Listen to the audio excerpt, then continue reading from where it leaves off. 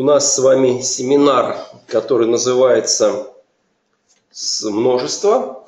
А, Причем вот это уже не первый семинар, да, то есть, в принципе, у нас был предыдущий семинар, вот я даже специально открою э, те слайды, которые я показывал на предыдущем семинаре. Все дело в том, что мы продолжаем э, семинары и, скажем так, нам в прошлый раз довелось немножко разговаривать о списках. Мы пытались разобраться, вообще пользоваться этой коллекцией, которая называется списки, удобно или нет. И так как мы сегодня продолжаем, ну, наверное, два слова все-таки надо сказать, до чего мы договорились в прошлый раз. Ну, что такое списки, я думаю, все прекрасно представляют. У нас есть элементы, которые выстроены в цепочку. А, каждый элемент может указывать на то, где находится в памяти следующий, может указывать на то, где в памяти находится предыдущий.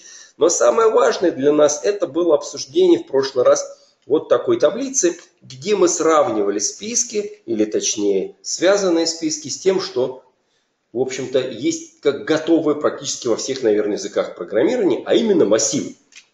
И сравнивая, разговаривая об этом, мы вот эту таблицу привели. И давайте сейчас по диагонали посмотрим, что получается здесь для нас интересно в этом сравнении. Смотрите, вот два столбца, связанный список и рядом столбец массивы. Или там динамические массивы, в которых какая-то заложена логика возможности роста, увеличения этого массива. И, соответственно, есть возможность добавлять, удалять элементы. Вот смотри, получается очень интересная ситуация. То, что хорошо у массива, там, где стоит оценка э, времени, единица, да, то есть единица это означает, что она не зависит от числа элементов. 100 элементов, 10 миллионов элементов, а время доступа к элементу в массиве одинаковое. Это, это идеальное, это идеальный вариант. Видите, да, у массива идеальный. А у связанного списка наоборот. Оценка зависит от числа элементов. Чем больше, тем дольше вы будете искать, добираться до нужного элемента, потому что это связанный список. Но если смотреть дальше, например, какие-то возможности массив реализует хуже намного, да, э, например, добавление элементов в динамический массив где-то возможно, приведет к смещению, это зависит от размера массива, значит оценка будет э, соответствовать числу элементов, время, да, временная оценка. А у связанного списка здесь единицы. Если так посмотреть, здесь n, здесь единицы, здесь там, понимаете, наоборот, да. И вроде как бы, глядя на эти две коллекции, может сложиться впечатление, что достаточно двух направлений, массивы там со своими вариациями и списки со своими вариациями, и вы все необходимые алгоритмы перекроете. Ну, это именно только впечатление, к сожалению. Потому что есть ну скажем так, а, еще одна строчка, которая здесь не была приведена. А зачем, если никто не может нормально реализовать? А именно поиск. Вот что, ну, хотел сказать, часто, а, но в целом, наверное, да, необходимость поиска элемента – это тоже стандартная задача. Может быть, не такая частая, как добавление или удаление, но почему нет? Представим себе ситуацию, да, у вас есть огромный список, э, не знаю, там, сотрудников, ну ладно, их не может быть много тысяч, но если взять хотя бы город небольшой, тоже много тысяч, и вы должны будете в этом в этой коллекции, которую вы выкачали из базы, допустим, проверить, а есть ли такой-то, такой-то, такой-то, такой-то. Как это сделать? В случае связанного списка нет никаких алгоритмов вообще вам придется пройти по всему связанному списку, значит оценка времени будет соответствовать числу элементов. То есть вот будет в скобочках не единица, а n. А если взять массив, и представьте, нам повезло, он отсортирован. Кому-то можно за это отдельное спасибо, за благодарность объявить, что мы получили отсортированный массив. Ну, допустим, сделали грамотный запрос в базу, который вернул их упорядоченно. И даже в этом случае, почти в идеальном варианте, у нас нет возможности получить нужные нам данные за один шаг. Нам придется, используя какой-нибудь алгоритм, например, бинарного поиска, да, делить пополам, делить пополам, делить пополам, но это уже n шагов. Поэтому э, в ситуации, где постоянно требуется поиск, получить какой-то действительно производительный вариант просто не получится. И вот это показывает то, что да, нужны еще варианты коллекции обязательно нужны еще варианты коллекции. И вот то, что мы сегодня и будем разбирать, это, соответственно, и есть та самая коллекция, которая называется множество. И, соответственно, именно эта коллекция должна нам обеспечить какие-то новые возможности. Поиск. Именно будет поиск. Давайте смотреть, что у нас получается, что это за коллекция множества. Итак, определение, да. Важным является здесь то, что, в принципе, коллекция это, как и списки, состоит из, из одинарных элементов. Вот следующий наш семинар, где будут хэш-таблицы, там хранится ключ, значение, пара элементов. Нет, множество – это один элемент. И чаще всего, конечно, существуют исключения. Люди, которые реализуют разные коллекции и иногда идут нестандартным путем, но чаще всего множество – это именно неповторяющиеся элементы. Э, согласитесь, что а какой смысл хранить в множестве два абсолютно одинаковых объекта? Если вам их надо считать количество, это другая история. Тогда берите э, следующую коллекцию, которую мы будем разбирать уже на следующем семинаре, какой-нибудь там хэш-таблицу. А здесь неповторяющийся объект. Э, специально я какое-то время потратил, посмотрел. Ну, понятно, что есть теория множества, это математика, да, но было интересно другое. А в каком языке, когда, что, где вот это были реализованы множества? Ну, вот где-то там в Википедии нашел, э, что в Паскале. Не проверял. Может быть, кто-то и раньше сделал. Но это так, оценка. Скажем так, Паскаль же ведь язык достаточно, ну, не старинный язык, да? Это какие годы, наверное? Ну, где-то конец 70-х, наверное, что-то так. Фортран 7. То есть где-то, наверное, в 70-е годы. Так что множество, как коллекцию программисты уже могли использовать. Ну, а сегодня, как написано дальше, ради бога, берете любую библиотеку, любого языка, объектно-ориентированно, да пожалуйста, эти множества есть везде. И чаще всего в названии как раз вот это слово, которое там наверху сет написал, оно присутствует, потому что ну, от английского, так как все названия стараются строить от английского, все это есть. Итак, для нас важно, что реализация самой идеи хранения э, неповторяющихся объектов и нужно реализовать к ним быстрый доступ – оно вообще-то, конечно, возможно разными способами. Вот смотрите, основное, основное различие может быть в том, что в множестве лежат элементы как попало. Ну, нет, ладно, внутренне есть определенная организация множества, но когда вы добавляете новый элемент, еще один новый добавляете элемент в множество, а, то то, как они печатаются на экране, меняется. Например, они не будут упорядочены там, по росту какой-то характеристики, там, по цвету, по алфавиту, если это фамилии, названия какие-нибудь прочие. Они могут быть, соответственно, не упорядочены. А могут быть наоборот, что вы добавляете еще одного сотрудника, а все равно, когда просите распечатать все данные из множества, они будут по алфавиту. И добавление очередных сотрудников это не нарушает. И не надо там внутри делать сортировку. Этого не требуется. Оно само при добавлении всегда остается упорядоченным. Но здесь однозначно в этом случае мы, естественно, теряем скорость. Ну понятно. Если добавлять элемент нужно не не как попало, а все-таки строго по определенной некой логике, конечно, на это некоторые дополнительные идут операции. А, секрета никакого нет, как это реализуется, чтобы было отсортировано. Там используют бинарные деревья. Внутри коллекции используют другую коллекцию, это нормально. Но мы сегодня будем брать тот вариант, который основным является, который не упорядочен, потому что там нету потери скорости. Для нас это сейчас будет основным. А вот уже, когда мы захотим посмотреть, как это сделать, чтобы было отсортировано, упорядочено, бинарные деревья и хэш-таблицы, все это будет вместе, это будет следующий семинар. Сегодня больше про нее ничего не буду говорить, хватит, и так уже все понятно, что будет на следующем семинаре. Но займемся сейчас исключительно множествами, те, которыми те, которые реализованы быстро. Итак, задача выглядит достаточно непростой. Если у нас есть миллион элементов, очень бы хотелось, чтобы я сказал, а есть, допустим, и пусть это название товаров, пусть это название там, фамилии сотрудников, я беру вот это название и у множества спрашиваю, есть и мне за один шаг отвечать да или нет, соответственно. Ну, собственно говоря, если есть, мне не нужно его оттуда доставать, оно и так у меня в руках это название. Если мне говорят нет, я могу добавить новый элемент или там, не знаю, еще какие-то произвести действия. Но вот этот ответ должен быть как можно быстрее да. И возникает вопрос, а как же это тогда в памяти надо, каким образом все это расположить, чтобы за да, какой-то там, я не знаю, буквально один, э, одну операцию, одну итерацию мне из миллиона могли сразу сказать, вот он твой, забери э, товар.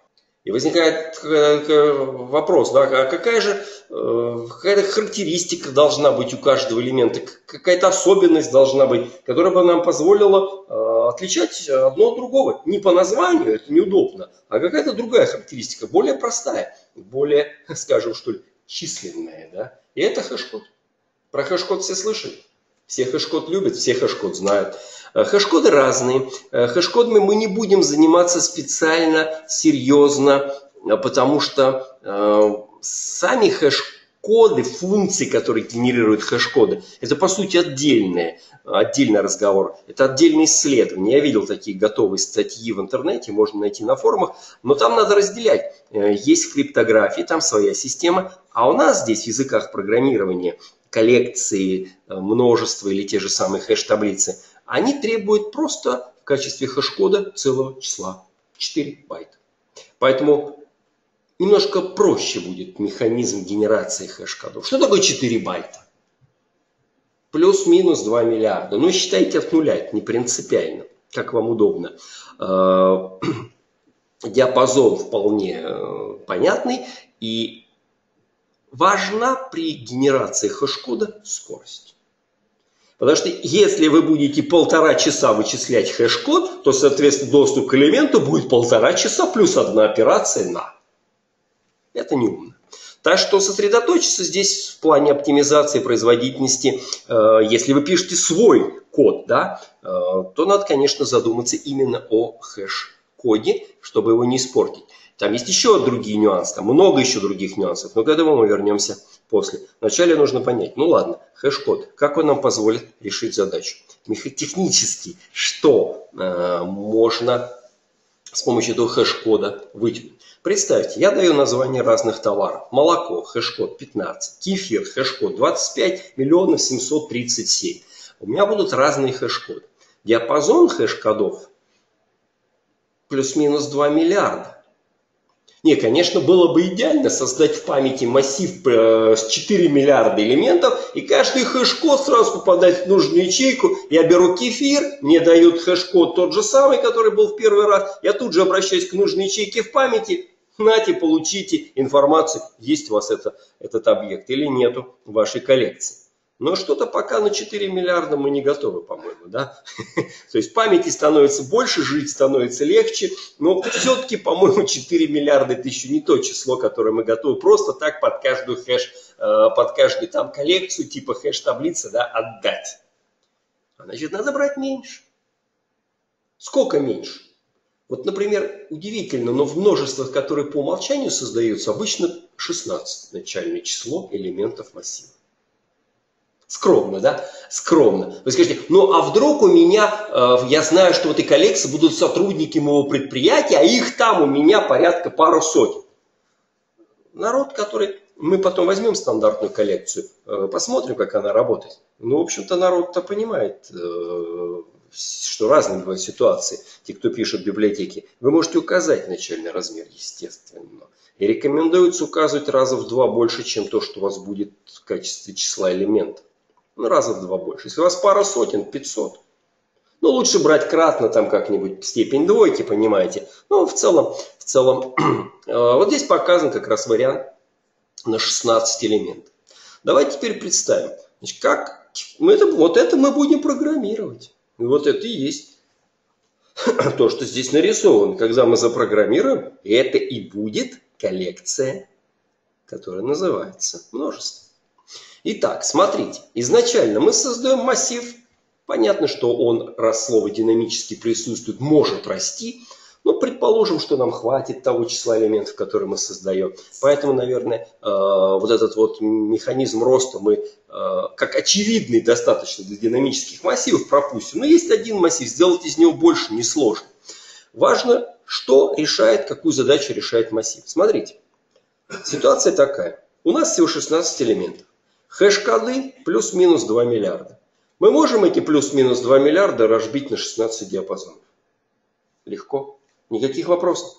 Значит, если хэш-код попадает в определенный диапазон, значит, там, допустим, от минус 2 миллиардов там надо на 16 разделить, и мы узнаем, сколько там будет до следующего значения. Соответственно, мы можем сказать, что в этой ситуации у нас с вами есть возможность э, считать, что он находится в нулевой ячейке массива. Нулевой массива. Соответственно, если хэш-код оказался там какой-то положительный, ну, значит, он за середину попал. Значит, там восьмой, восьмую ячейку попадает, там, в девятую и так далее. Массив изначально созданный, все элементы в нем пустые. И как только у нас какой-то новый в коллекцию добавляется элемент, вычисляется хэш-код, мы пересчитываем хэш-код из диапазона плюс-минус 2 миллиарда в номер массива. Ну, там делим на 16, э, все это несложно э, выполнить. И в этот момент этот элемент массива создается. И мы туда кладем наш элемент. Там, я не знаю, товар, тот же кефир. Ничего сложного, да? Вот здесь вы видите 4 элемента зелеными кружками помечены. Вот они четыре были созданы. В ячейки с номерами 1, 3 и так далее никто пока не попал. Но может так получиться, что у меня 16 элемент, я туда добавляю всего лишь четвертый, да, всего лишь четвертый, а у него э, хэш-код получается в том же самом диапазоне, вот как здесь под номером 2. Конечно, может. Кто же гарантирует про хэш-код что-нибудь? Там только одна гарантия должна быть. Для двух одинаковых входных наборов данных одинаковый хэш-код. Все. Все остальное как, как получится. Поэтому абсолютно другой товар с абсолютно другим названием. И он может оказаться в том же диапазоне под номером, например, 02. Ничего страшного. Он добавляется под этим же номером. По каждому, вот смотрите, по каждому номеру в этом массиве начинается связанный список. Каждый элемент этого динамического массива – это связанный список. Вот такая получается вложенность, да? И получается, что мы в прошлый раз и массивы смотрели, связанные списки, и, сейчас мы готовы к множеству, поэтому. Вот. Ну да, да, именно так и происходит. И, конечно же, здесь вы понимаете, что еще одна задача непростая перед теми, кто пишет хэш-функцию, э, задача ставится. Вот я иногда в группе спрашиваю, ну а как вот, например, для слова из текста – вот как хэш его вычислить? Ну и народ иногда просто предлагает, а давайте длину возьмем слова. Ну, в таких группах я обычно соглашаюсь, что спорить. Я говорю, да, ну как вариант подойдет. Но вот если сейчас, это просто как вариант, да. А, а вот если посмотреть на то, как работает коллекция множества, то сразу становится понятным, что этот вариант абсолютно неприемлем. Потому что что значит в виде хэш-кода, э, в качестве хэш-кода возьмете длину слова? Ну какие у вас могут быть длина, длина слова? 1-21. Правильно? И, в разных языках есть. И, и в разных языках это будет 1-21. Ну, в немецком может быть 31. Я вижу, что в разных языках длина слова, она иногда стремится к величине но очень часто слова из какого-то числа букв как бы более популярны. Да, да. Но получается все равно, что весь диапазон длин слов, он будет входить от, там, от нуля до там, какого-то смешного значения. Это всегда попадет в один элемент динамического массива. И во что превратится наша коллекция? В связанный список. И если коллекция выродится в связанный список просто за счет неудачного хэш-кода, генерации хэш-кода неправильно, то мы все потеряем плюс, которые, о которых мы так в самом начале уже с вами настроились. И типа, что о, быстрый поиск, моментальный поиск. Вот выродится и все, и не будет ничего. Поэтому Хорошо, вот, например, в данном примере мы будем с вами писать, мы будем писать, использовать в качестве элементов коллекции этой Э, множество строки. Для строк у нас есть профессионально сделанная хэш-функция ну, в библиотеке. Все, можно быть уверенным, что она дает... Одна буква меняется в слове, длина не меняется, просто буква меняется с A на B. Но хэш-код может оказаться вообще абсолютно другим. Просто из плюса в минус прыгает, понимаете? Там используются битовые операции, достаточно, его можно посмотреть, это не секрет, как это все сделано. Все это в разных библиотеках вы можете найти, посмотреть. И требования, вот если будете изучать на форумах э, генерацию хэш-функций, которые генерируют хэш-коды, то требование одно. Э, хэш-код должен как можно равномернее покрывать диапазон плюс-минус 2 миллиарда, чтобы в разные ячейки попадать. Ну и последний, здесь вот красным специально написан вопрос, чтобы я не забыл его обсудить и задать. И вопрос такой. А когда вообще, ну хорошо, изначально массив мы не стали ни о чем думать, э, задумываться, и по умолчанию 16 элементов. Но я положил туда в эту коллекцию сколько-то товаров, еще добавлю, еще добавлю. Но в какой... А он вырастет, этот массив. В конце концов, вы же понимаете, что все равно кто-то попадет в ячейку от 0 до 15, и если она уже есть, значит он добавляется в связанный список. То есть он, даже такой маленький динамический массив на 16 исходных позиций, все равно может хранить в себе сколько угодно элементов, там тысячу, десять тысяч. Но производительность ведь теперь у нас, когда я скажу «дай мне кефир», она обратится к элементу 0,2, а потом ей придется по связанному списку да, этой коллекции идти и смотреть кефир, кефир, кефир 25 раз. Конечно, никакой производительности уже э, вот этой вот с моментальной не будет. Поэтому идея, чтобы была производительность, здесь очень простая. Есть определенное понятие э, фактор загрузки, load фактор, который говорит, что вот как только загруженность динам, вот этого динамического массива э, переваливает за 0,7, 0,75, 75%, он должен вырасти. Смотрите, не единица, да? Это значит, в нашем случае 16, я добавил 16 элементов, он бы сказал, о, единица, вырасту. Нет, 0,75. Зачем это сделано? Чтобы как можно меньше было связан список. Чтобы в идеале были почти везде по одной штучке. И как только 0,75, то есть, значит, получается, в 6, сколько там у нас от 16 0,75? Ну, там что там получается, четверть, 12 элементов. Как только мы добавляем 12 элементов, у нас загруженность 0,75, и массив э, динамически вырастает в два раза, становится 32. Все, вы можете еще добавлять, добавлять, пока опять 3 четверти не будет загружен. Э, и вы скажете, а если, а если вам это не нравится, посмотрите внимательно то, когда вы создаете массив, может быть там о, множество, да, может быть там есть возможность управлять и этим. Но если вы помните, если вы с самого начала создадите размер вот этого начального а, динамического массива этой коллекции в два раза больше, чем у вас есть число элементов, то он ни разу не вырастет. А это значит, вы вот на эти все операции вырасти, не будете терять время и не будет, допустим, если это какой-нибудь язык типа Java, не будет создаваться там мусор, который убирает сборщику и так далее. Вот, поэтому такая рекомендация. Вопрос, конечно, нужен. А, когда происходит увеличение массива, перерасчет хеш-кодов идет? Э, хэш-код у каждого элемента не может измениться. А вот когда мы создаем, допустим, у вас было 16, создается 32, элементы попадают со своими хэш-кодами в другие. Конечно, все пересоздается. Конечно, да. Там все серьезно, потому что в два раза больше становится точек входа, и, соответственно, они уже по разным элементам. Но там операция, это ведь это сколько займет роста массива э, динамического? Ну, это просто новый создать, это несложно. Потом надо пройтись по той коллекции, переложить в эту коллекцию. Технически это несложно. Но чем больше, тем хуже для вас.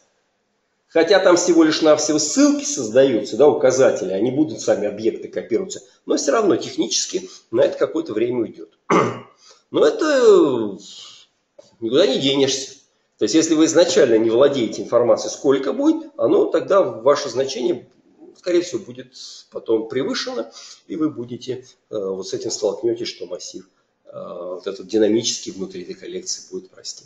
Итак, значит, вот этот коэффициент загрузки по умолчанию 0,75. Э, значит, решили, что это такое самая версия этого значения удобная, она обеспечивает и производительность, но и все-таки надо думать об экономии памяти. Да? Если я сказал бы, давайте будет загруженность 0,2, простите, я буду создавать такие гигантские массивы и буду использовать только 20, 20%, ну, 80% памяти же просто кушается. Поэтому вот не зря у нас в списках была последняя строчка использование дополнительной памяти. В массивах нету, а у этих у всех есть. И здесь дополнительное использование памяти, конечно же, тоже есть. Э, оно зависит, вы видите, вот этого факта. Ну, тоже m. Чем больше элементов, тем больше дополнительной памяти вы используете. Так что оценка будет тоже зависеть от числа элементов. Так что идеал только массивы, только массивы. Ни одной коллекции по всем показателям идеальной быть не может. Это а, факт. Итак, Э, мне кажется, что вот сейчас так обсудив, да, немножко как это устроено, и пока еще это в голове свежо, надо, наверное, написать 2-3 строчки кода, да, и посмотреть на это. Давайте попробуем это сделать. У меня уже, естественно, все подготовлено. Ну, в плане в том, что писать-то мы будем. А подготовлен у меня уже установлено NetBeans. Я по старой традиции использую среду, которая у нас на каждом компьютере есть, быстро устанавливается, если что. И язык программирования Java, тем более все коллекции, они, в общем-то, одинаковые, это не суть важно. Но прошлый был пример тоже на Java. Итак, я открыл NetBeans. Наша задача сейчас создать проект, какой-нибудь очень простой, а, с каким-нибудь простым названием, Java App. А, соответственно, в этом проекте мы вначале, естественно, попробуем какую-нибудь стандартную коллекцию, посмотреть, какие там есть возможности, какой там есть функционал, что она умеет. Ну, очень быстро создадим ее. Сейчас сделаем покрупнее. Что-то она никак не успокоится. Что-то ищет. А можно все равно удалять лишние строки. Там много комментариев. Мне ничего не видно. Я думаю, вам тоже пол экрана занимают эти комментарии. Итак, что мы сделаем? Значит, э, у нас есть мы же говорили, неупорядоченное множество, да? Вот. Для неупорядоченных множеств используется, вот какой интересный язык, но не наш, не наш случай. Э, хэш-сет, вот тот тип данных, э, сет это множество, а хэш есть TreeSet. О, там будет бинарное дерево внутри использовано, будет упорядочено. HashSet, внутри связанный список. Понятно, что элементы добавляются в конце списка, и, соответственно, сортированность как понятие теряется. Я не хочу, чтобы всякие были неожиданности, поэтому в эту коллекцию я собираюсь класть только э, строки. И пусть компилятор это проверяет. Объект нужно создать, это понятно. Объект HashSet, соответственно. Э, вот, вот здесь круглая скобочка. Я могу ничего не писать. Могу поставить 16 тогда будет начальное значение динамического массива. Могу поставить 32, понимаете, да? Число начальное значение вот этих вот элементов, а, сколько мне нужно. Так, что как-то писет, как-то оно. Так, все, сделано. Но на то что-то положить, естественно. Пока у нас ничего нету в этой коллекции. Смотрите, что здесь есть. Давайте посмотрим. Методов. Много ли здесь вообще стандартных коллекций методов? Если мы захотим сделать свою, э, то вы понимаете, что мы должны ну, где-то стремиться к этому, да, потому что наша не должна быть хуже. Вот смотрите, метод это, все понятно. Метод э, это clear. Ну, clear такой, мы не будем, естественно, реализовать, это смешно, убрать все, да. Ну, кому это надо? Это сейчас нам не интересен. Метод, это совсем простенький. Вот важный метод contains, как раз и есть тот самый поиск. И было бы неплохо, когда мы запрограммируем, убедиться, что это за один шаг. Ну, почти за один шаг, да. Э, remove обязательно. Всякие там из empty, это вспомогательные методы, какой-нибудь size, который возвращает число элементов, да ради бога. Это все несложно вести подсчет. Ну вот получается, по сути, три основных метода. Добавить, удалить и наличие проверить. Время у нас ограничено, поэтому мы основные будем делать. Я их в прошлый раз не удалял, и в этот раз ничего удалять не буду. Конце концов, если у тебя что-то есть, ты уже потом уничтожишь, ты всегда с этим справишься. Итак, давайте мы вызовем пару раз add и добавим сюда что-нибудь хорошее. Ну, я вот там, как на слайде добавлял, какие-то там эти, названия букв греческого алфавита, по-моему. Бета, альфа там и так далее. Да, э, ну, три, там, трех букв, не знаю, четырех хватит, поэтому сейчас мы это все ускорим по процесс, естественно, не будем это все руками. Есть у нас автоматические средства, всякого размножения и так далее. О, сигма, я такую знаю букву. Сигма. Довелось в свое время вести сопромат, это из него. Так, эпсилон. О, похоже? Нормально. Смотрите, очень красиво можно взять это множество распечатать, просто само множество печатается. У него реализован такой замечательный функционал, а, что не надо писать цикл, в нем есть уже сразу, видите, она выводит все. Обратите внимание, порядок. Не по алфавиту, не так, как я добавлял по хэш-кодам. Вот как они сгенерированы, как они попали, так оно и есть. Но это добавление, наша должна быть версия э, не хуже, но зато по нашей версии мы сможем легко оценить а, увидеть просто глазами, какие команды, какие операторы нужны, чтобы это работала, а значит и скорость можем увидеть, оценить. Я не стал здесь для этой коллекции писать тест, который проверяет скорость доступа к элементу, потому что, по сути, это будет проверка скорости вычисления хэш, хэш-функций. Так, э, очень важно вот этот вот еще один сделать вызов. На любом множестве у нас всегда есть возможность спросить, а есть ли, ну вот я возьму сигму, да, сигма. Я спрашиваю, а есть ли там сигма? Ну, естественно, если нам ответят «да», ну, распечатаем «yes», все будет понятно. Вот смотрите, да, мы видим «yes», сигма есть. Пожалуйста, я закомментирую эту сигму, а, запускаю, соответственно, еще раз. Ну и если нет, и сигмы нет и так далее. Кстати, что будет, если я два раза пытаюсь добавить сигму? Это тоже вопрос важный, принципиальный. Если запустить сейчас код, ну понятно, что сигма есть, понятно, что она одна, потому что это множество, уникальные элементы э, и так далее. Значит, здесь разница будет в том, что вот если посмотреть на то, как метод add работает, подсказка, видите, boolean он возвращает. Э, первый раз он вернет true, второй раз boolean будет false. То есть он еще метод отчитывается, если он не может добавить, то что там есть, он просто false возвращает. И точно так же метод, который удаляет. Он удаляет, если он что-то удалил, он вернет true. Если он ничего не удалил, мало ли вы что там набрали, какое имя, он вернет false. Это очень легко, чтобы вам потом не переспрашивать, вы сразу будете знать. Такой есть, такой, такого не было. Что я удалял? Подумай, посмотри. В общем, э, я к чему это? Что нам примерно такую же логику надо, наверное, реализовывать. Да? То есть это возвращает буллин, контейнс возвращает буллин и так далее. Ну и печать вот такая была бы неплохая. Все, вот оно стандартное множество чтобы понять, чтобы понять, как оно устроено, как оно работает, да, потому что картинка это э, хорошо, а код наглядней. Мы должны множество написать. У нас должна вот эта строчка, у нас должно вот это все работать, а вот это только одна строчка должна стать другой. Вот такой.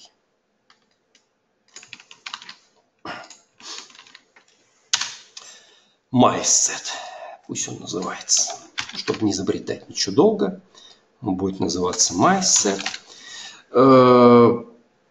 32, э, ну пусть 32, плохо что.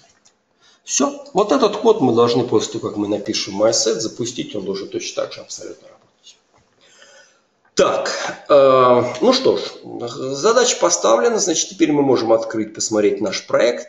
Э, конечно, красиво, когда классы отдельно добавляются, поэтому я в, в отдельном файле добавлю новый класс где должен быть в самом начале, вот в середине почему-то. Называется он MySet, с этим именем мы уже разобрались. Вот, собственно говоря, все, что нам нужно написать, несколько строчек кода вот здесь вот, чтобы это работало. Так, имя у нас уже есть, пока э, что он там должен наследовать, зачем он это должен, мы не знаем, поэтому ничего не будем писать лишнего. Будем писать только то, вот конкретно то, что нам нужно. Да? Все, что нам нужно. Вот смотрите, что нам нужно. Вот глядя на этот первый файл, я могу сказать, что мне нужен метод add, метод contains, мне нужна какая-то нормальная печать, ну и конструктор с параметром. Это очевидно. Нужен конструктор с параметром. Все с конструкторов и начнем. Это, наверное, самое простое. Хотя я, наверное, не прав. Да? Все-таки, чтобы конструктор можно было сразу реализовать, нужны данные, которые он инициализирует. Поэтому давайте я напишу данные. Приват, паблик, паблик, приват писать нужно, но это не наш случай. Нам побыстрее хочется. Поэтому я не буду писать данным приват, а, а методом паблик. И так понятно, что должно быть именно так. Нам нужна величина, которая называется КП. Мы назовем ее как у всех, не будем сокращать capacity. Это и есть тот начальный размер динамического массива, который создается, который потом может вырасти. Но это его размер. А, а сам массив, да, ну, он тоже должен быть объявлен. Ссылочка на него должна быть объявлена. Э, соответственно, этот массив у нас будет состоять из элементов, э, ну, скажем так, у нас это будут связанные списки. Помните, да? Каждый элемент – это связанный список. Потому что сколько там пойдет значение? 1, 2, 10, никто не знает. А вдруг у вас хэш-код совершенно безобразный, все выродится в, в, просто в связанный список? Значит, он должен быть. А, в прошлый раз, по-моему, мы писали связанный список, мы его называли MyList, LList, LinkedList, вот сокращенное название LinkedList, квадратные скобки ставлю. квадратные скобки ставлю. Значит, у меня будет массив, связан с списков. И его так вот принято называть, этот вот массив, баклетс, баклетс, корзина. Нет, бакет. В общем, с английским мне, конечно, хуже, чем с Java. Поэтому как это правильно читается? Bucket. Да? То есть это некая корзина, а, которая является динамическим массивом, в котором мы складываем. В котором мы все это складываем. А, чтобы мне вот этот вот код здесь все время не писал, что ты не прав, ты совсем не умеешь писать код, давайте мы здесь а, добавим пока пустой, что ж такое, добавим пока пустой связанный список, кстати, класс, вот этот L-лист, чтобы он пока здесь как бы вот наметим его, да, как тип данных, ну, а потом не знает. Может, мы его возьмем готовым, может, еще что-то сделаем, но пока вот так его наметим, а, да, нам его нужно будет реализовать, но зато этот код теперь у нас не будет подчеркнут красным не будет ругаться. Я сделал специально класс внутренним, потому что здесь вот может возникнуть такой, такой вопрос. А могли бы мы, например, сделать так? Ну, у нас что, связано список, что ли, нет? Готовых? Есть. Но не принято их использовать вот здесь. Почему? Здесь нужна как можно более эффективная, компактная, короткая реализация. Поэтому э, я понимаю, что такое связанный список. Да? У нас есть там какой-то интерфейс, который нужно реализовать. Там 25 методов в нем будет никак не меньше. Оно это здесь нужно? Нет. Надо добавлять, проверять, удалять. В связанном списке должен быть функционал, который только, только по минимуму необходим. Но это тем самым и память э, разгрузит, эффективнее все сделает. Так что будет такая минимальная реализация. Ладно, это будет дальше. А сейчас у нас наконец-то мы можем до, наконец-то мы добрались до а, конструкторов.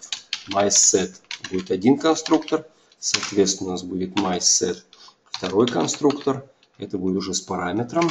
Нам надо задавать сюда вот этот вот выбор должен быть, да, capacity.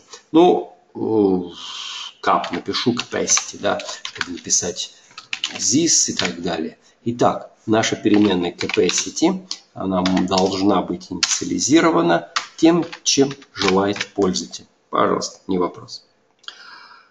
А, да, и еще очень важным, естественно, элементом является создание, создание вот этого нашего массива, который пока у нас просто есть, а сейчас он будет уже и создан. Так, массив, э, как любой объект, создается с использованием динамического выделения памяти, используется тип лист у нас в качестве каждого объекта, а количество элементов мы теперь точно знаем, потому что у нас есть переменная capacity. Все. Вот и все. Два поля, две инициализации, две строчки. Э, конструктор, который у нас первый, ну, дефолтный. Понятно, что значение должно быть, если пользователь не решился задать определено нами. Значит, мы можем переключить этот конструктор на конструктор с э, параметром. Есть возможность один конструктор переключать на другой. Такая конструкция здесь 32 придет к тому, что будет вызван второй конструктор. Ну и, соответственно, с 32. Что так, в нашем коде мы написали 32, вариант дефолтный тоже будет 32. Все, конструктор сделан. Итак, нам нужен метод boolean add. Какой еще нам нужен метод? Boolean, он тоже второй boolean. Boolean, contain. contain с S еще на конце там у них. Так, открыли скобочку, закрыли. Давайте еще раз посмотрим на этот код. Ну вот, add contains. Печать нужна. Да, вот это отдельная история, печать. Кстати, что она здесь ругается? Вроде сделали MySet.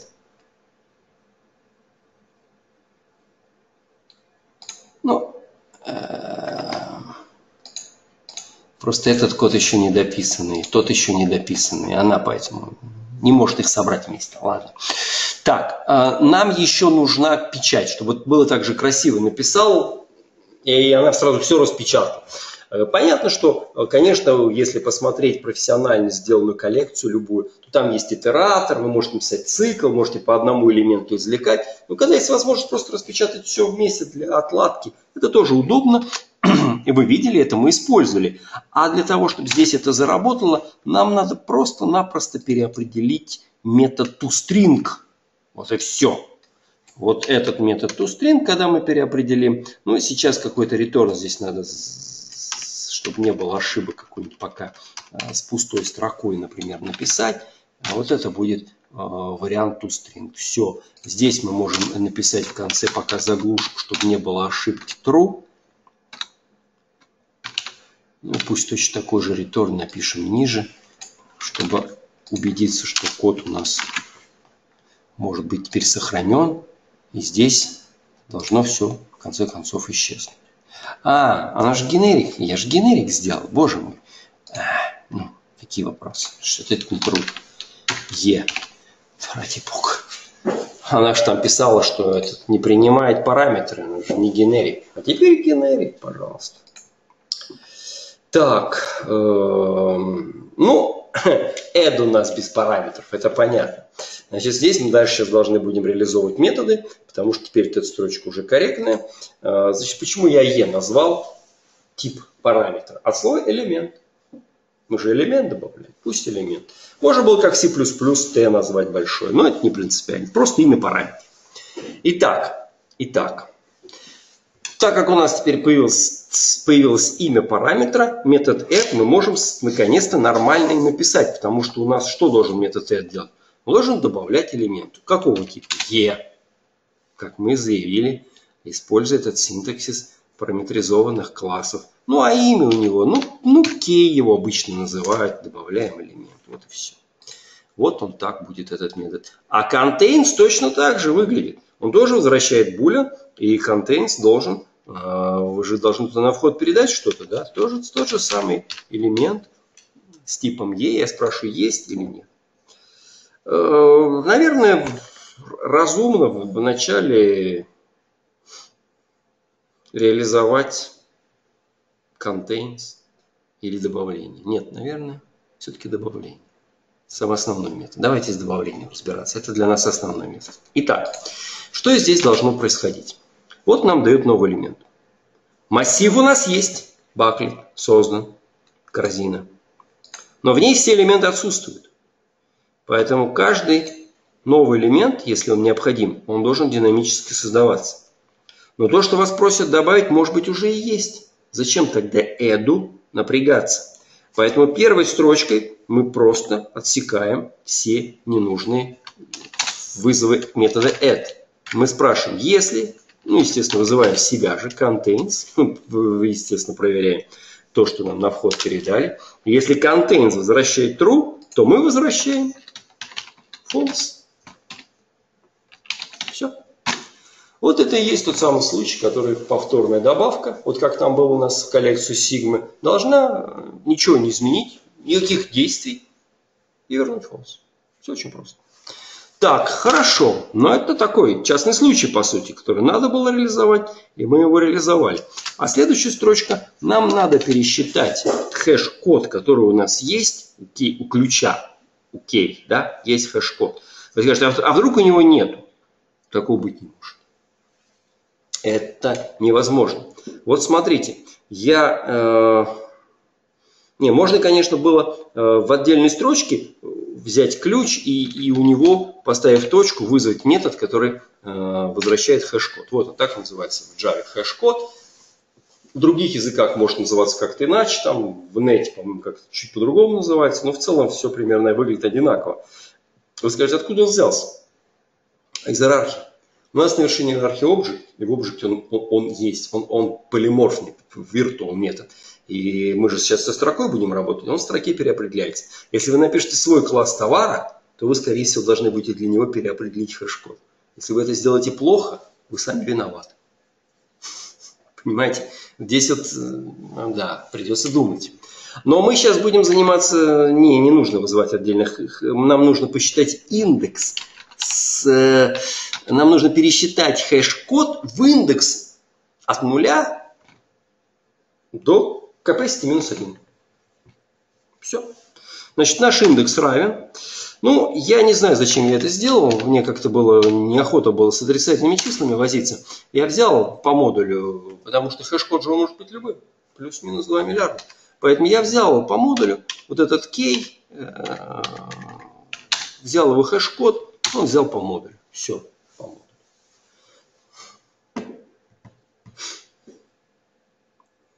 Но это пока ничего не изменило, это от нуля до 2 миллиардов, да, это пока не пересчет в индекс. А пересчетом в индекс, естественно, будет, э, мы должны его разделить на что-то, на сколько у нас этих элементов. Ну,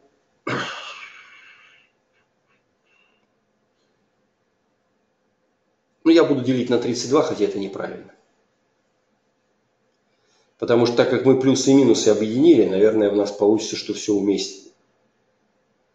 Хотя нет, почему? Если я плюсы и минусы объединил, ну, в общем, ладно, делить можно было бы подумать. На что? Значит, я буду делить на размер одного элемента. Размер одного элемента, это берется, э, берется э, 2 миллиарда и делится на 32. Вот такой размер нашего элемента. У нас 32 элемента в массиве, да? Соответственно, каждый элемент, это есть 2 миллиарда, и разделить на 32. Вот такой, вот такой диапазон хэш-кодов попадает в каждый элемент. Ну, как взять 2 миллиарда? Это просто. Мы берем тип данных integer, у него есть max value, и это max value размер, сколько там всего, мы на capacity делим. Понятно, что надо брать capacity, потому что у нас он может расти, может быть сегодня 32, завтра 64 и так ну, далее. Да? А поделить да, остаток 32? В смысле, получить остаток от 32 использовать это как ну, можно было по-разному, да, согласен. То есть можно было бы пересчитать. Тут главное, чтобы вы диапазон не промазали, да, чтобы у вас массив от 0 до 16, чтобы вы попадали, ну, в смысле, от 0 до 15, чтобы вы попадали туда. Вот и все. То есть пересчет любой, согласен. Можно было взять и, например, вариант там, остаток отделения. Итак, хорошо. Значит, все. Теперь у нас номер элемента есть. А, мы проверяем это тоже обязательная проверка, потому что если мы это не сделаем, у нас массив-то пустой, в нем же ничего нет. Э, мы берем этот элемент массива, если этот баклет, баклет, который у нас там есть, с этим индексом, окажется, что он равен чему? Его нет. Значит, он ну равен ну, то есть его нету. Вот его надо создать. Вот теперь он создается так равен, ну, выделение памяти, понятно, new l list, каждый элемент связанный список. Ну, там связанный список, никаких хитростей. Ну, тоже мог быть генерик, это понятно, да, ну, здесь это уже, если пишется в профессиональный код, понятно, все там должно быть культурно.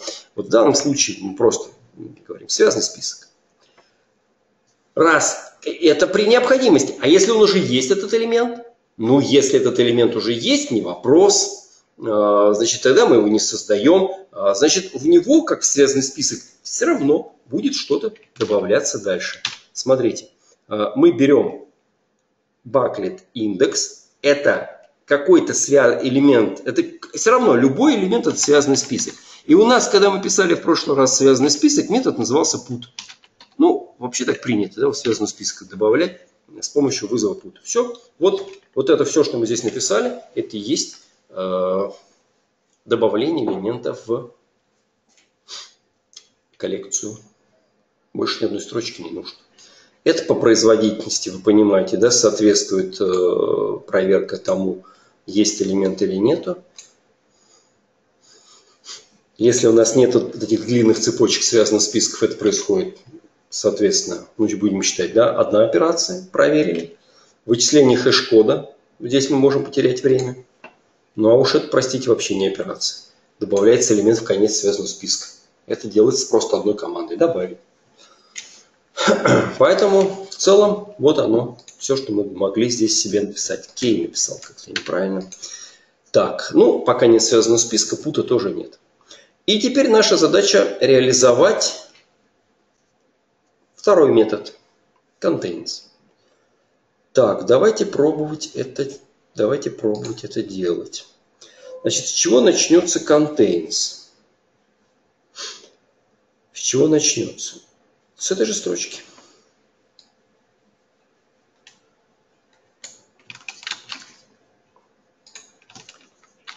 Нам дали объекты спрашивают, есть такой или нет.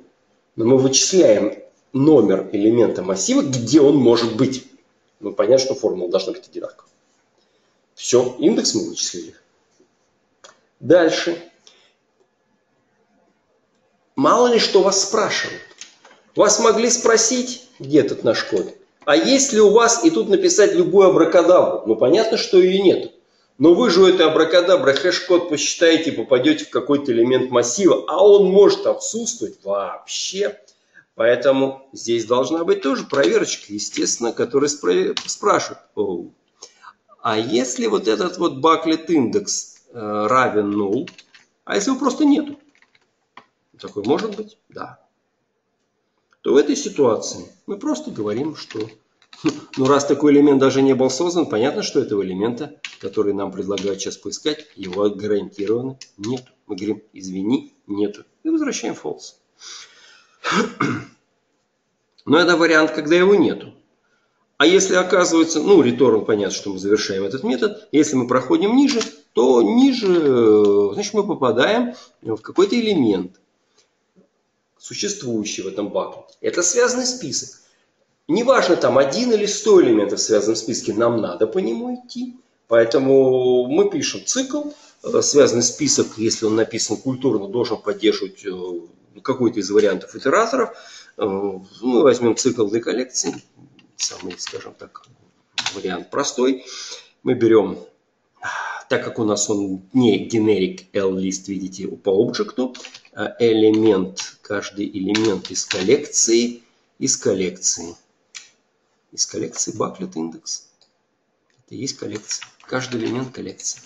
Связанный список. Все. Мы говорим, давай нам каждый оттуда элемент, и мы будем его проверять.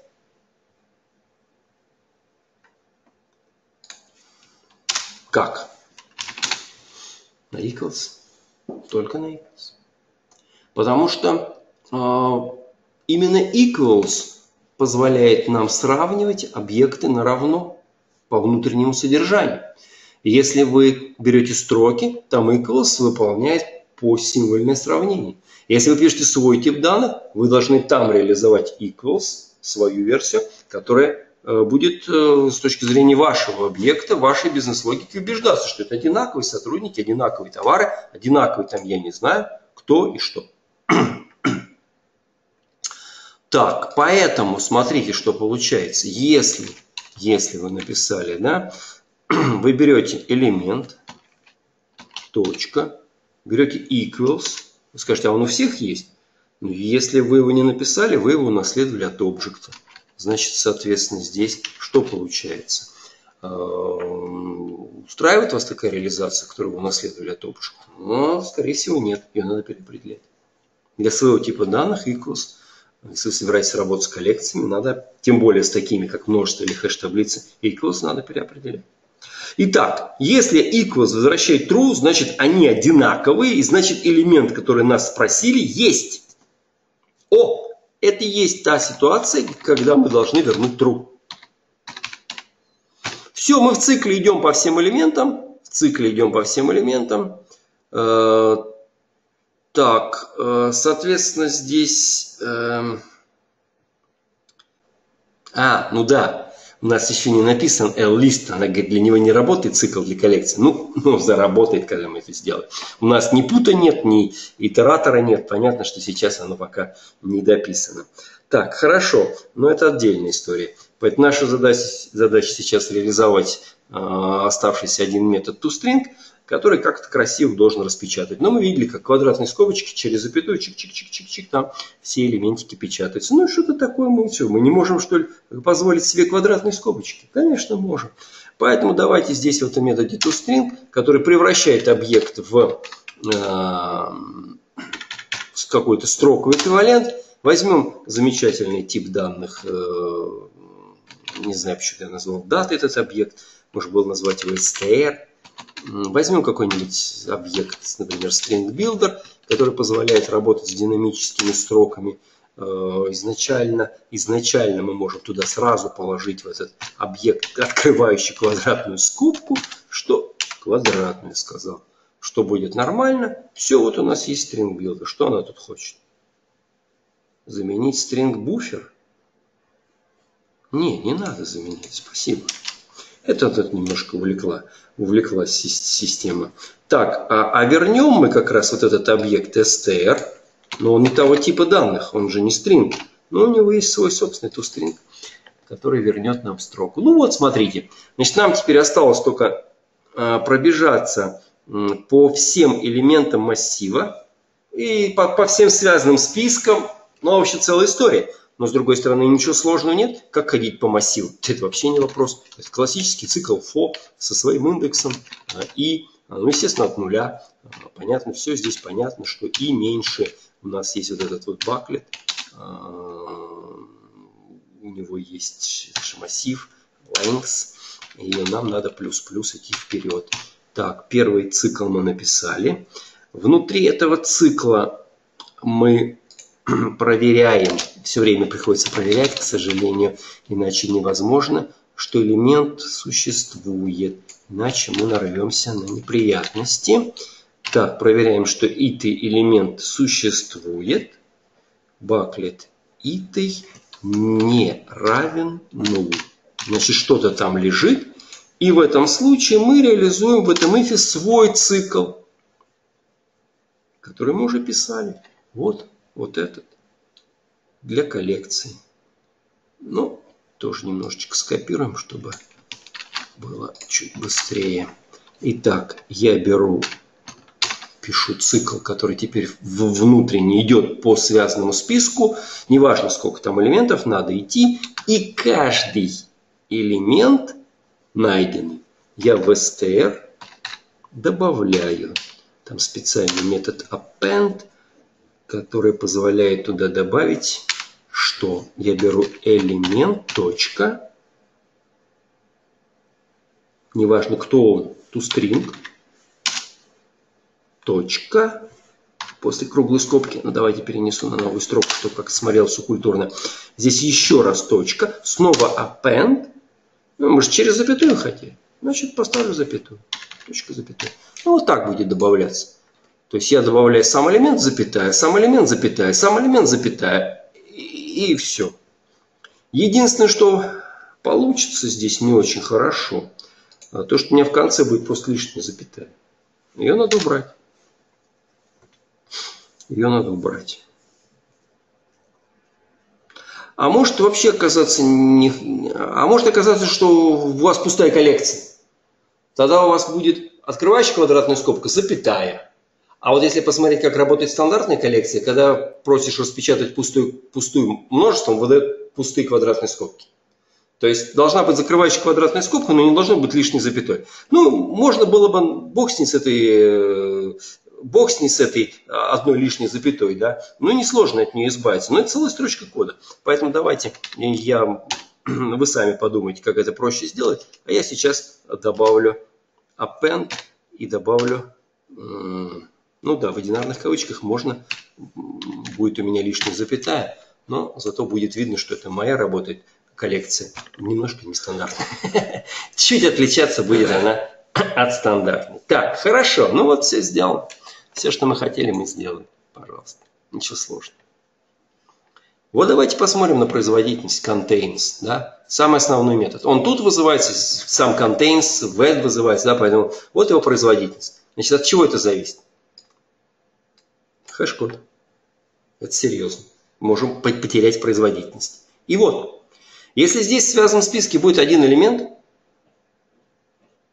то проверять нужно один элемент, да, по сути сразу. В целом, можно было бы, например, на какой-то написать оптимизированный код, сказать, мы оптимисты, мы верим, что почти в каждом связанном списке один элемент. И мы проверяем только первый элемент. И если он не совпал, пытаемся проверять дальше. Да, потому что, ну, скажем так, в 80% случаев должно быть, что он и есть. Может быть, тогда можно было там написать такой if, первый элемент, а потом пошел цикл. Да? Может быть, это дало бы большую производительность. Честно, не, не знаю. Это какие-то копейки, вот в целом какие-то копейки.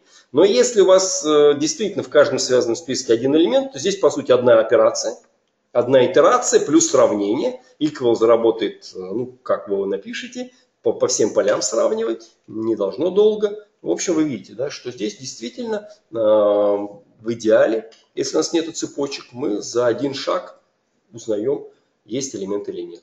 Соответственно, практически с такой же скоростью мы его добавляем. Вот мы узнали, что его нету, и мы его добавим.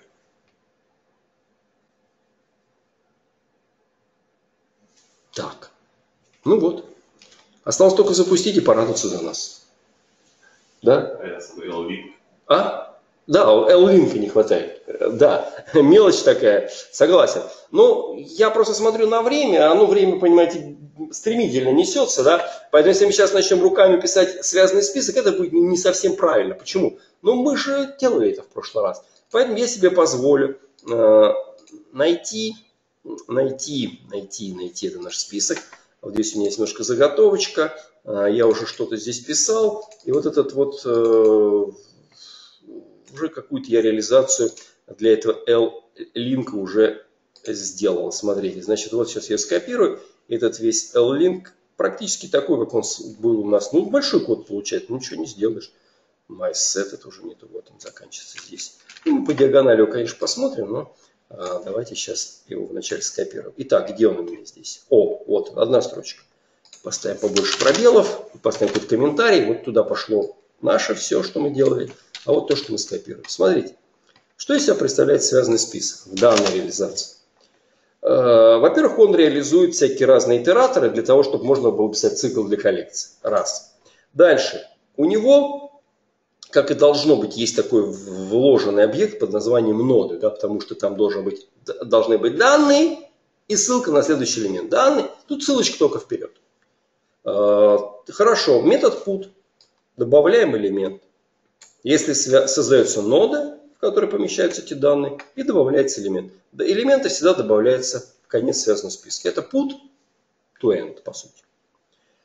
И нам нужны итераторы. Вот этот весь код, который, собственно говоря, не хотелось писать, основной это здесь код. Это код, который позволяет создать, вот тоже реализовать интерфейсы, iterable, итератор и так далее, которые позволяют работать цикл для коллекции. Мы, по-моему, в прошлый раз это писали, разбирали потому что здесь, в общем-то, достаточно стандартный код, и коллекция множества, ну, никакого отношения он не имеет.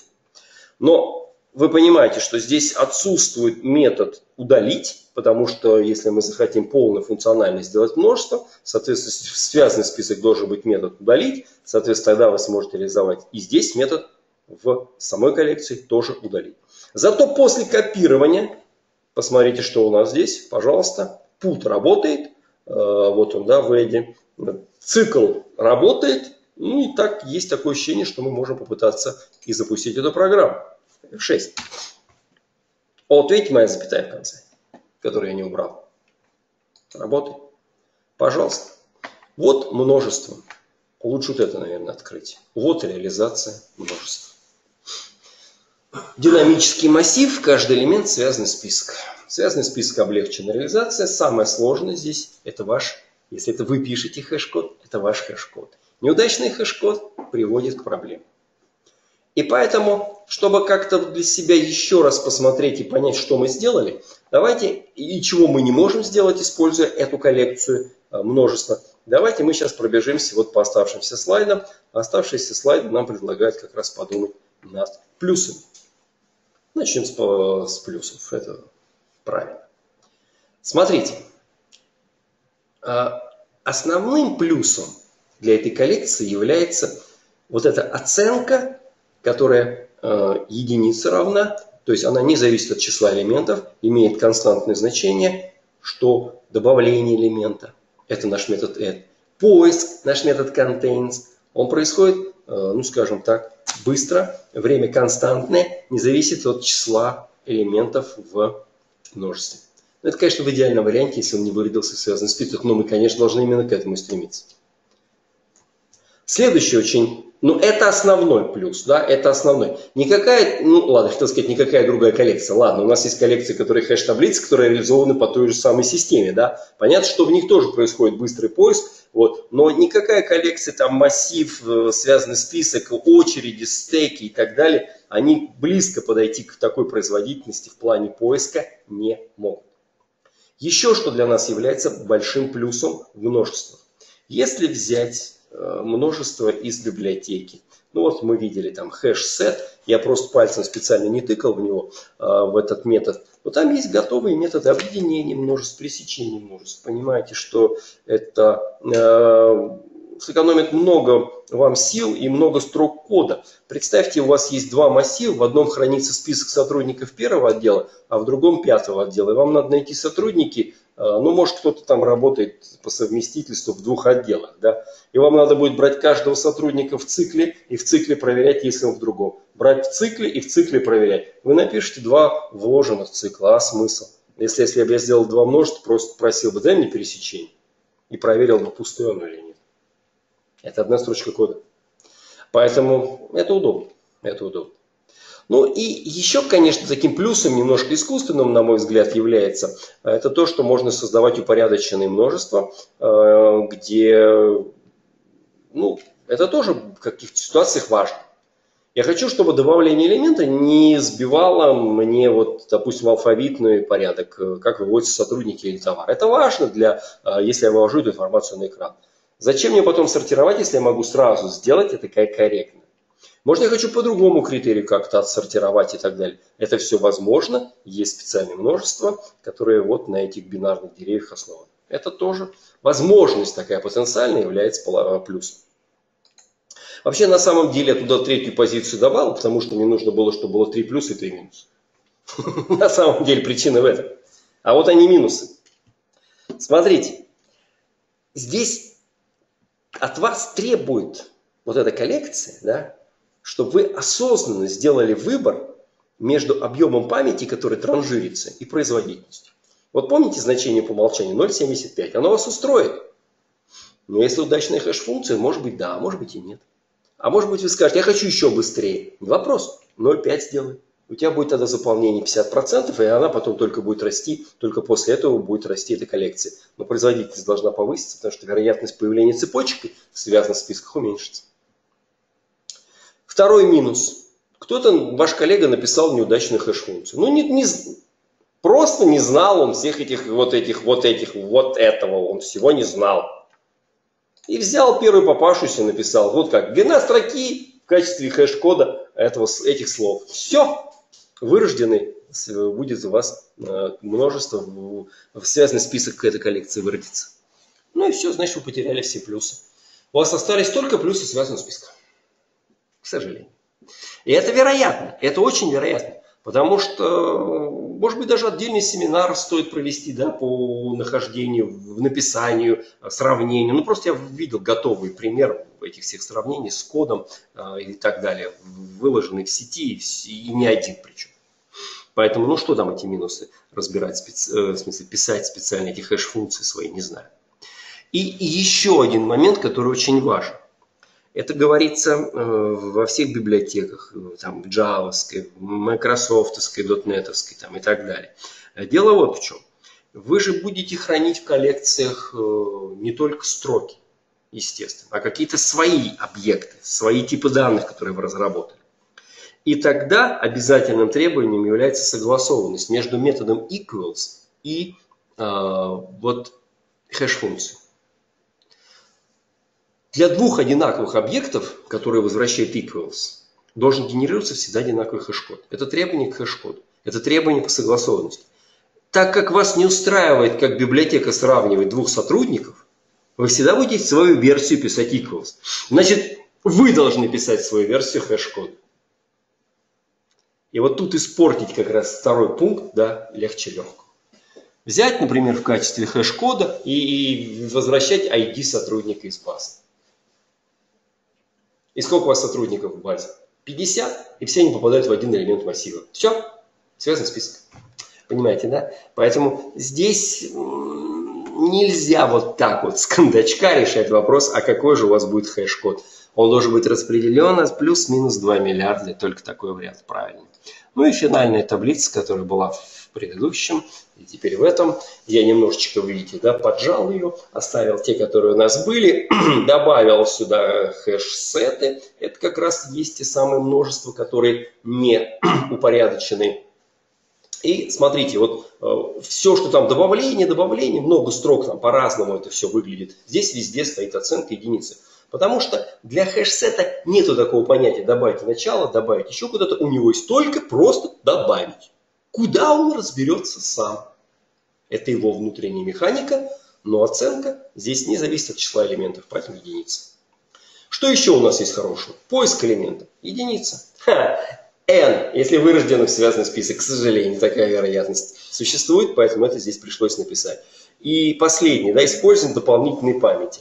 Ну, да, она используется, причем достаточно серьезно, вы видели. Если большое, большое число элементов, а чем больше, ну, оценка n, понятно, чем больше, тем будет больше. Но еще есть коэффициент загрузки. Может быть, надо было не плюс поставить, а умножить, да, или там, я не знаю, разделить на него. Потому что если возьмете 0,5, значит, в два раза будет лишней памяти использоваться. Если возьмете 0,75, всего лишь четверть, ну, это тоже ваш выбор, это ваш выбор.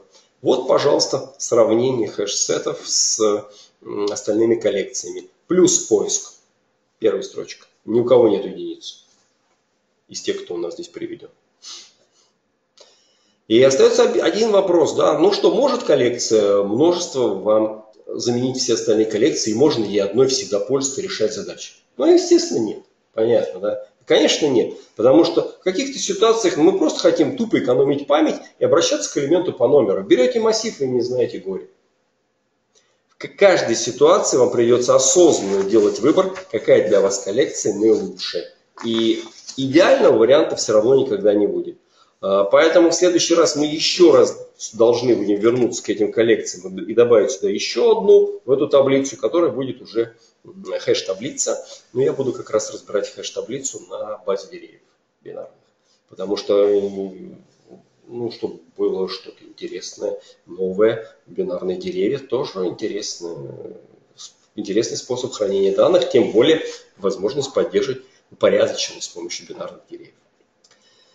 Итак, еще раз смотрим на этот слайд, еще раз смотрим на этот слайд. Если какие-то у нас остались вопросы, Дмитрий, Марат, вы можете писать. Э, Юрий тоже, да, вот, пожалуйста, э, спрашиваем, если что-то еще нужно обсудить. Если вы захотите узнать э, подробнее о коллекциях, о программировании, то, пожалуйста, вот на этом слайде написано, куда вы можете обращаться мы с радостью вам расскажем про C-Sharp, про Java, про коллекции, которые есть на этих платформах, про другие языки программирования, про их коллекции. Обращайтесь, всегда поможем. Следите за нашими семинарами на сайте специалиста. Не только я один, много преподавателей ведут. Темы могут быть совершенно разные и иногда даже неожиданные.